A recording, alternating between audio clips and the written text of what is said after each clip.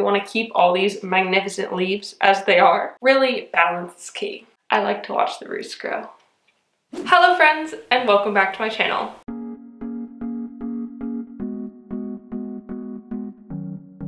My name is Emma, and today I'm going to be talking about Marantas. You might also know these beauties as prayer plants because they move their leaves like a lot and they kind of open up during the daytime and in the evenings they'll close up and go vertical again. Kind of mimics like praying hands coming together. I would show you the plant, but kind of mimics praying hands coming together at night. So they actually do this because in the daytime they're trying to get as much light as possible. Like if the sun is above them, if they're laying flat, they can get more sun. And at night they close up letting any water that's left on their leaves or if any rain comes, it can drip right off rather than collecting on its leaves, which can cause like fungal problems and rot and stuff. So it's like a defense mechanism that they've created to survive better in their natural habitat, which is pretty awesome. Prayer plants are pretty low maintenance. Once you know their care and if you can give it to them, they tend to be pretty easy to take care of. So that's again why they're one of the more common houseplants because they're pretty easy. So I actually have two types of prayer plants. This one, which is a red prayer plant or a Leuconeura, I think, or maybe a tricolor. I think it's got a few different kinds of names. And then I also have this one up here, which is a green prayer plant or a Kerchoviana, I think it's pronounced.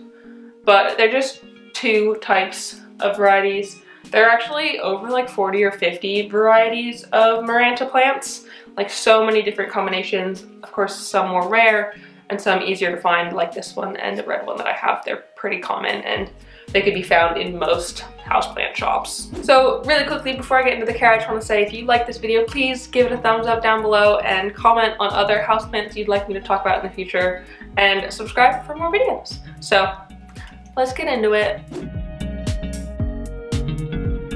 So one thing that's super important with Marantas is that you don't let them get too dry. They do not like to dry out completely between waterings. Ideally, their soil is kept evenly moist, but like not sopping. I try to water when the soil is dry, probably about a third to a halfway down in the pot, but I just go in with my moisture meter and check the soil. If it says it's dry, give it some water, pretty easy. I think in the spring and summer, which is the growing season, I probably end up watering maybe once or twice a week. And that slows down drastically in the autumn and winter, maybe once every week or two, depending on how dry it is. So there are two really, really, really important notes when it comes to water.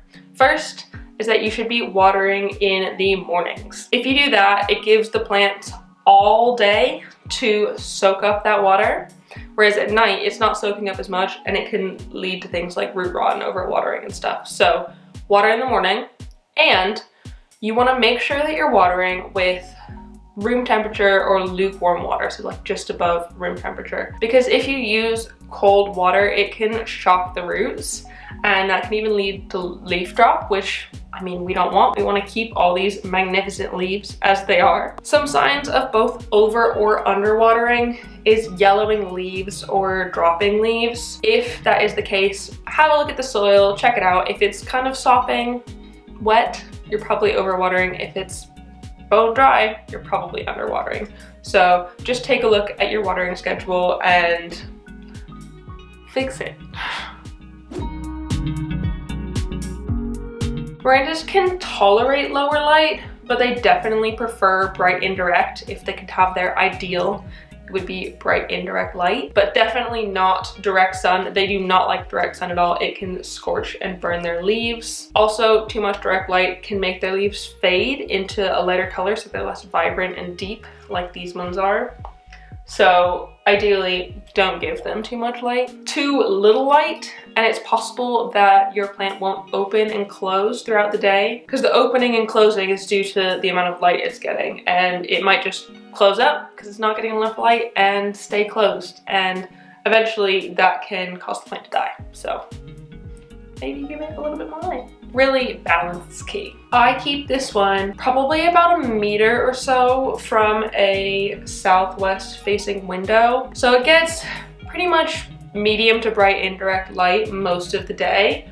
And I think it's really enjoying that there. That one as you can see, it lives in my filming studio. This room is dark a lot more often. It does have a northeast facing window, but I'd say max it'll get medium indirect light and minimum probably low light.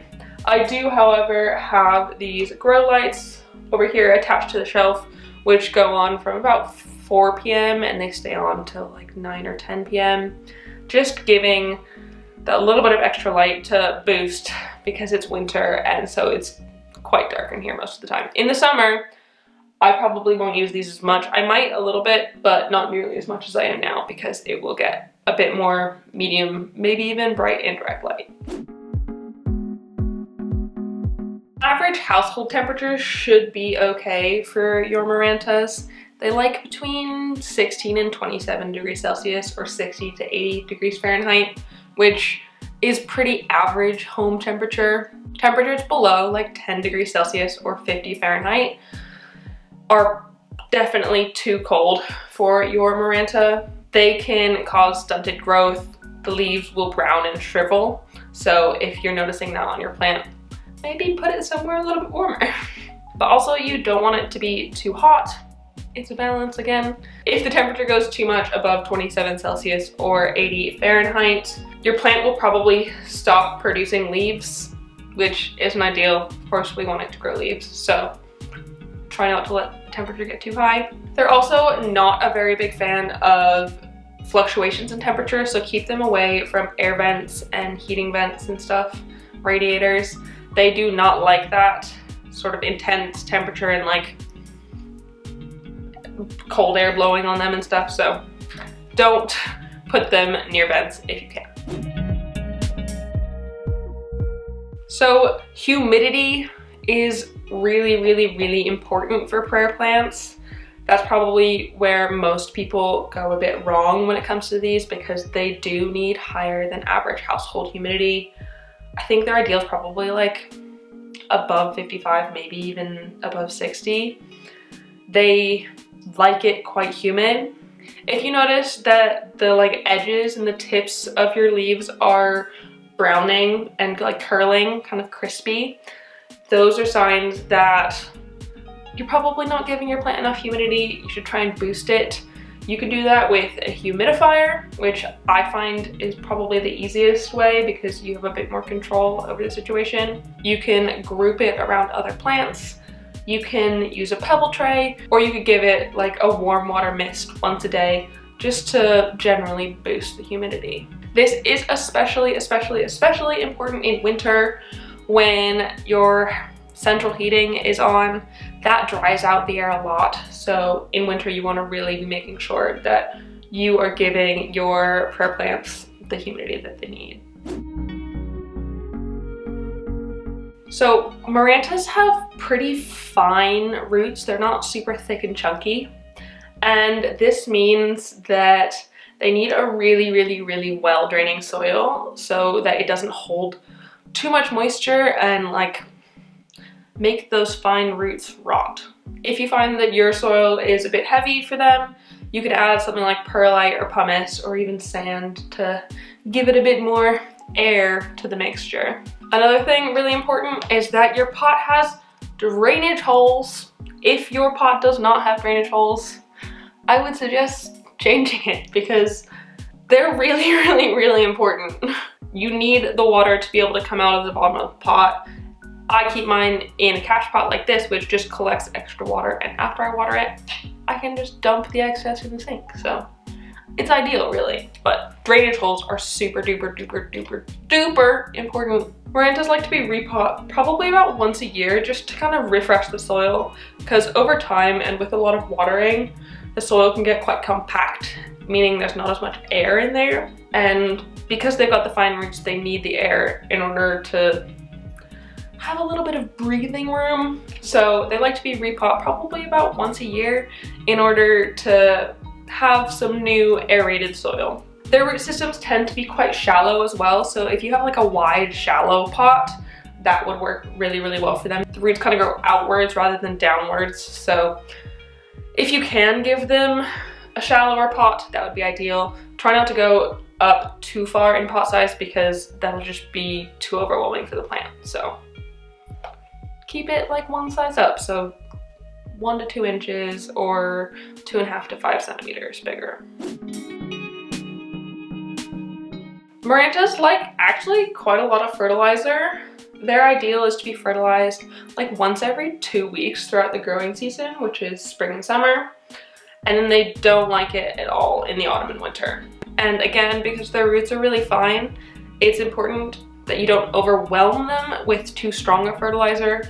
I personally like to use a half strength so that it's not too much all at once for them. And I use liquid gold leaf fertilizer and so far they seem to like it just fine.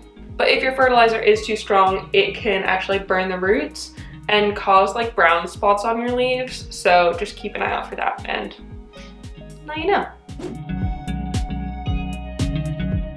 Propagation of plants is so freaking easy. It's good to give your plants a regular prune anyways in order to keep the sort of bushy appearance. And so when you do that, you can also propagate those cuttings. Just be sure that you're cutting just below a leaf node. Then you can take those cuttings, stick them in some water, which is my preferred propagation method, and then wait. Ideally, you should be changing the water like every week or so just so it gets fresh water. But again, remember, don't do it too cold because they don't like that. You should start to see roots growing out of the node in a couple of weeks or so.